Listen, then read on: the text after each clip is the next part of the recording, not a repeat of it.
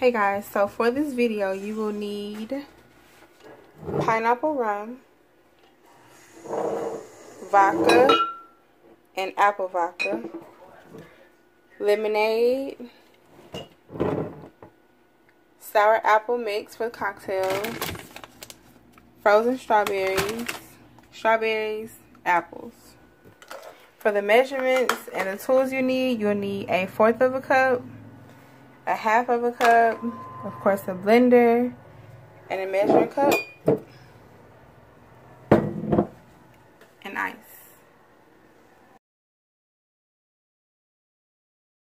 Next up, you're going to add in a half a cup of vodka, one fourth cup of pineapple rum, Next, you're going to add in 3 tablespoons of sugar. Next, you're going to add in 1 fourth of a cup of lemonade. Then you will add in a full bag of a 16 ounce frozen strawberries. And voila, there is your strawberry. Next is the apple flavor. You're gonna add one fourth of a cup of green apple vodka. Next is the green apple flavoring. The not the flavoring, the green apple cocktail mix. that is one fourth of a cup.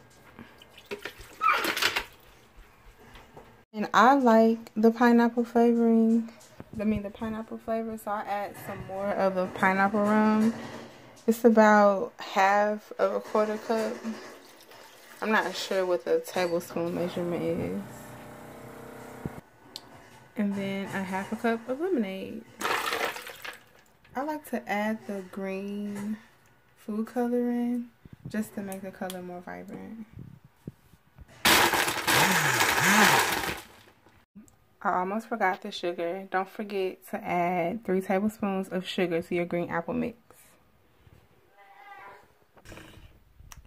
And there you have it. You have your green apple.